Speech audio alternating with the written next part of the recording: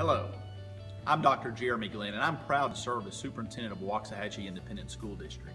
The administration and faculty in Waxahachie are committed in their approach to give each child the best education possible.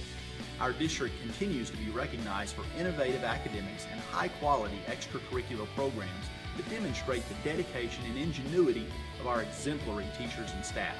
I want to extend a thanks to all of our stakeholders for their continued support of Waxahachie ISD as we move forward with our mission to create lifelong learners.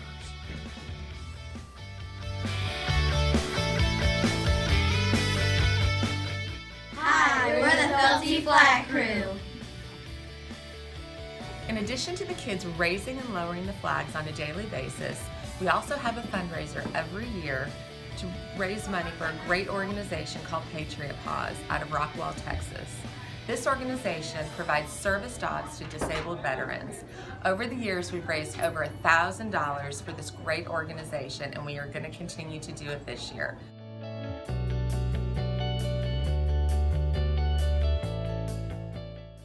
Hi, we're the Waxahachie Senior Varsity Cheerleaders.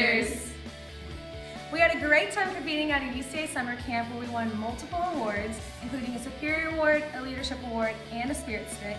Several of our girls won All-American and so did both of our mascots. We also have a great year ahead of us. We have seven sophomores, five juniors, and five seniors. And besides football games, we're also competing in UIL competitions for the first time this year. We're super excited for what this year has in store for us.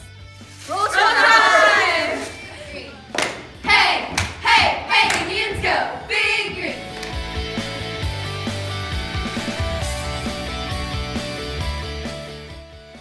So for those of you that don't know, we have some kids that traveled to Nashville, Tennessee this year and competed in the National TSA Conference. And many of you don't know what that is. Well, what that means is we have kids that competed with 7,000 kids from all over, not only Texas, the United States, but the nation. We're talking Germany, we're talking Turkey, we're talking California, New York, everywhere.